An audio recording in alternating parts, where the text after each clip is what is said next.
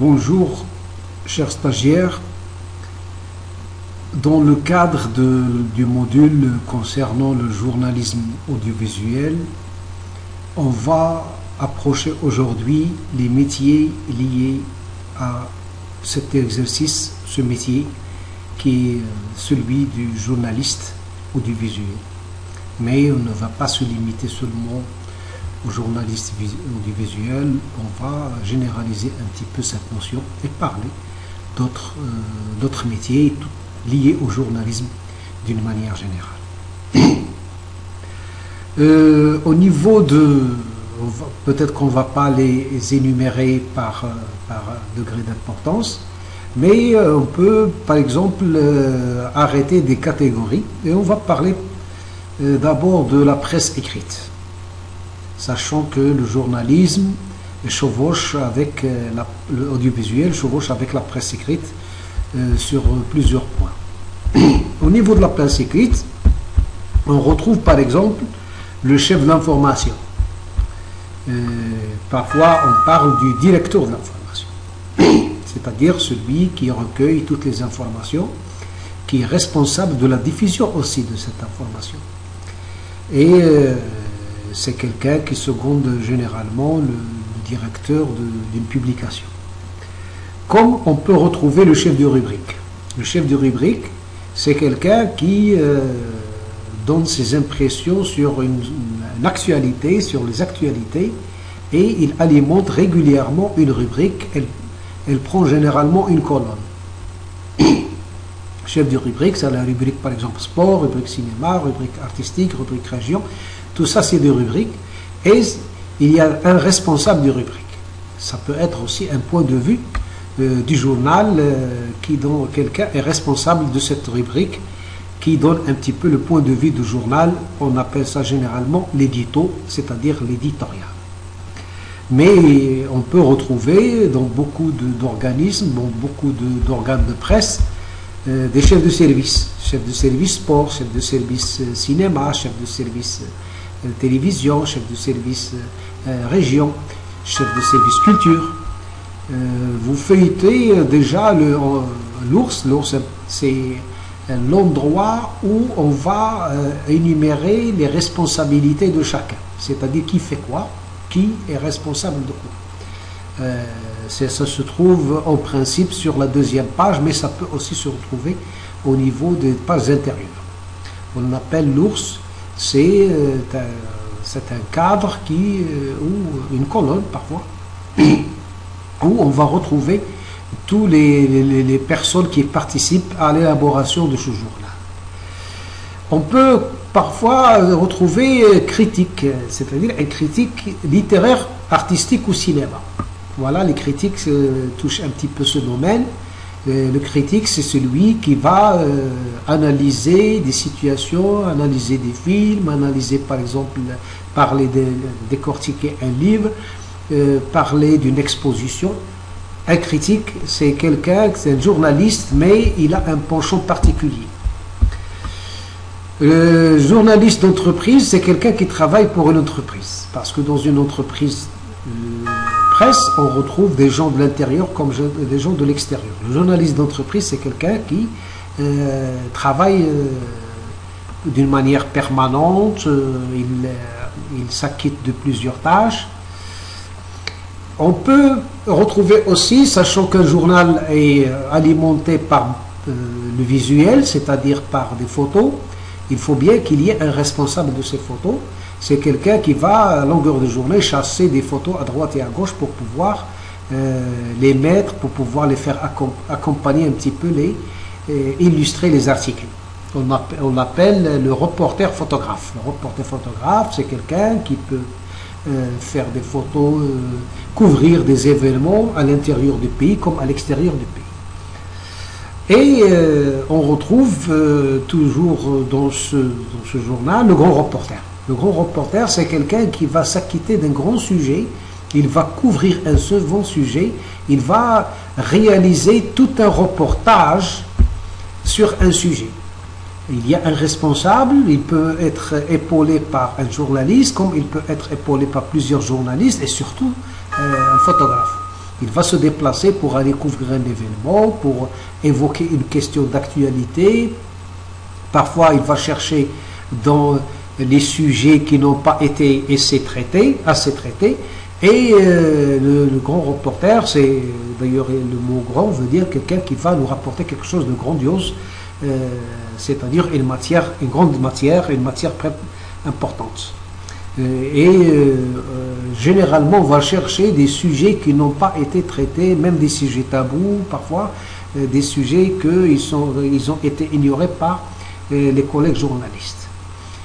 Le rubricard, euh, c'est-à-dire c'est la personne qui va s'occuper de la rubrique. Tout à l'heure, on, a parlé de la rubrique, mais il faut bien que quelqu'un s'occupe ça, alimente régulièrement sa rubrique. On l'appelle le rubricard carrément. Et euh, on retrouve dans les journaux, dans la presse écrite, le rédacteur, ou plutôt le secrétaire de rédaction. Qu'est-ce qu'il fait ce secrétaire de rédaction? C'est lui qui va recueillir les articles. Euh, d'ailleurs, il y a une réunion qui a lieu généralement chaque mois, chaque semaine, chaque jour. Ça dépend de, la période de publication de, ce journal ou bien de cette revue. Et le secrétaire de la rédaction qui est au courant de tout ça, il participe à la réunion. Et à partir de ce moment-là, il va commencer à recueillir les, les articles, la matière, pour pouvoir boucler le journal. Parce qu'il y a toujours une date butoir à laquelle on va boucler le journal. Et il y a aussi le, dessinateur de presse. Le dessinateur de presse, parfois on l'appelle, c'est un caricaturiste, et il va nous euh, illustrer des, articles. Euh, selon un petit peu, euh, parfois, il y a de l'humour dans ce genre d'article. Dans l'article, il faut parfois illustrer. On n'a pas de photos, même si on a de photos, on préfère rendre un petit peu agréable le contenu et on ne, on ne s'empêche pas d'illustrer un petit peu les articles.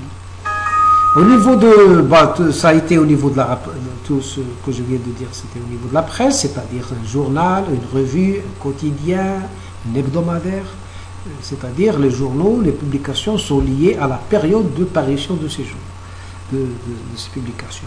Au niveau de la radio, euh, il y a un chef d'antenne. Le chef d'antenne, c'est quelqu'un qui, qui est presque le directeur d'une unité, c'est le responsable de cette unité.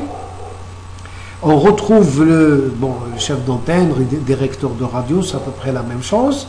Il y a des animateurs, ce sont des gens qui parlent tout le temps, parce que la radio, c'est la parlotte, tout le temps il faut parler. Euh, on retrouve parfois même un réalisateur, qu'un réalisateur, euh, pour pouvoir réaliser une émission, il intervient à plusieurs niveaux, il va chronométrer, il va chercher la musique, il va euh, faire des entretiens avec des invités pour savoir comment il va, va s'asseoir, comment, dans quels axes ils vont intervenir, et bien sûr en collaboration avec l'animateur. Et on retrouve au niveau de la radio un animateur c'est-à-dire celui qui est censé animer une émission, comme on peut retrouver euh, des journalistes d'info, c'est-à-dire euh, chaque, au bout de chaque heure, ou parfois au bout de chaque demi-heure, on doit donner des informations quand il s'agit d'une chaîne euh, d'information. Et bien sûr, la chaîne, cette chaîne radio, dispose de correspondants. Vous avez constaté, par exemple, Midi 1, ils ont des correspondants partout. Plus vous avez de correspondants euh, dans le monde, euh, au niveau régional, au niveau international, et plus vous pouvez avoir des informations, et parfois euh, des vraies informations. C'est-à-dire votre journaliste va chercher des vraies informations pour pouvoir les, vous les communiquer et à vous de les diffuser. Et l'importance d'une chaîne, c'est les fonctions un petit peu du nombre de journalistes, correspondants dont elle dispose. Au niveau de la télévision, on retrouve des journalistes, par exemple, aux émissions. Chaque, chaque émission est animée par, un journaliste, et c'est un journaliste d'émission. Au Maroc, au niveau de la, la, deuxième, au niveau de Média 1, il y a des émissions spéciales. Euh, de, cette émission, ces émissions sont euh, à caractère social, à caractère économique, à caractère artistique, donc on va politique même, on va retrouver différentes émissions, mais il y a un responsable d'émission. Généralement, c'est lui qui élabore les projets. généralement, ça peut parfois on lui demande, quelqu'un d'extérieur va nous amener un projet et on va lui demander d'animer cette émission. Ça nécessite de bien connaître le sujet qui va être traité lors de cette émission, comme ça nécessite de tenir des réunions préalables avec les intervenants pour pouvoir discuter des axes d'intervention de chacun. Et lui, bien sûr, il va euh, tracer tout ça dans son, dans son bloc-notes, euh, arrêter les questions destinées à tel ou tel intervenant. Tout ceci nécessite une coordination. Elle se fait avec, entre l'animateur et ses différents intervenants. Au niveau de la télévision, ça c'est important. Si c'est une chaîne, par exemple, euh, à caractère euh, qui publie des, news, des informations. Donc, à la tête de chaque heure, chaque demi-heure, il va falloir que quelqu'un intervienne, parfois au milieu d'une émission, pour pouvoir donner les informations d'actualité, reprendre certaines informations anciennes et en même temps ajouter des informations d'actualité. C'est le journaliste de l'information. Et ça existe un petit peu dans toutes les chaînes du monde. Comme on peut retrouver, ça dépend si c'est une chaîne généraliste, on va retrouver le journaliste sportif. C'est-à-dire, euh, euh, ça dépend un petit peu de la périodicité d'intervention du journaliste. Il va nous évoquer un petit peu les actualités euh, sportives qui ont caractérisé la, semaine la journée ou les trois jours qui viennent de passer, quelque chose comme ça. Et bien sûr, il y a quelqu'un, par exemple, qui va faire le présentateur. À un certain moment, c'était la mode, chaque matière devait être annoncée. Maintenant, on s'en passe, on passe euh, tout de suite d'une émission à une autre, parfois en intercalant un petit spot publicitaire, mais ce n'est pas, pas forcément. On peut passer d'une émission à une autre, parfois on l'annonce, parfois on ne l'annonce pas. Euh, parfois on fait euh, tout un spot de publicité promotionnelle pour une émission future c'est-à-dire à regarder à l'avenir, euh, il y a un présentateur euh, TV. Euh, on retrouve un petit peu les présentateurs TV dans, la plupart des émissions. Mais quand il s'agit aussi d'une chaîne généraliste ou chaîne d'information, il y a un rédacteur en chef. Comme le rédacteur en chef est un, est un élément principal et au niveau de la presse écrite, on va le retrouver à la radio comme à la télévision. Il tient des réunions régulières avec ses collaborateurs pour pouvoir euh, arrêter les informations à diffuser, donner de l'importance à l'actualité, mais aussi euh, euh, répartir la tâche au niveau de ses collaborateurs.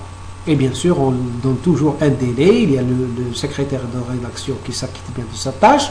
C'est lui qui doit recueillir les informations à soumettre au rédacteur en chef qui, lui, il décide sur la diffusion ou non d'une émission, d'une information.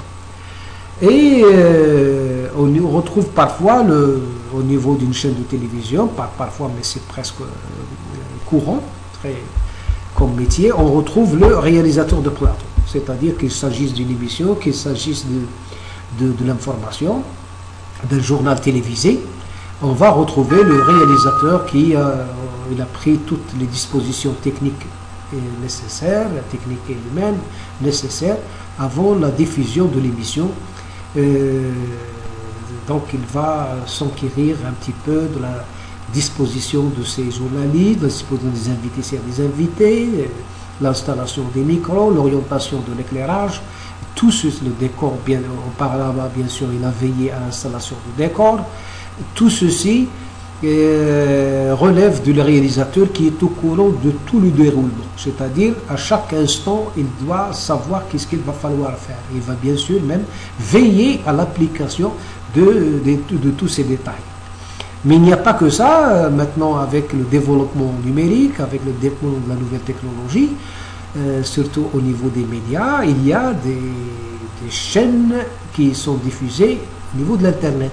Donc l'Internet est devenu maintenant un secteur qui euh, accueille beaucoup de journalistes et bien sûr ces journalistes s'acquittent de leurs tâches chacun dans son domaine, au niveau technique, au niveau artistique, au niveau humain. Euh, c'est-à-dire on, les, appelle communément le journaliste web. Le journaliste web, c'est un journaliste qui travaille essentiellement euh, dans le, au niveau de l'Internet. Vous savez que maintenant, un journal ne se contente pas d'être publié en, papier. Euh, il y a les deux, on retrouve la publication papier comme le lendemain, on peut, on peut retrouver la même, la, même matière au niveau de l'Internet.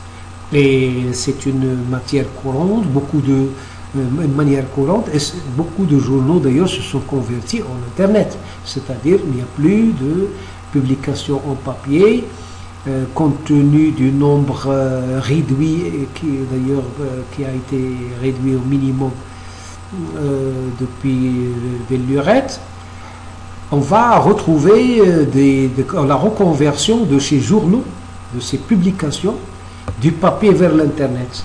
Et ce qui explique qu'on va, qu'il y a des journalistes euh, qui travaillent directement sur l'Internet. Voilà un aperçu sur euh, le métier les métiers euh, exercés au niveau du journalisme, journalisme écrit, presse écrite, radio, télévision. On reparlera dans un avenir des chaînes de télévision, radio et télévision, euh, et euh, ce qui, quelles sont les caractéristiques liées aux chaînes de diffusion radio et télévision.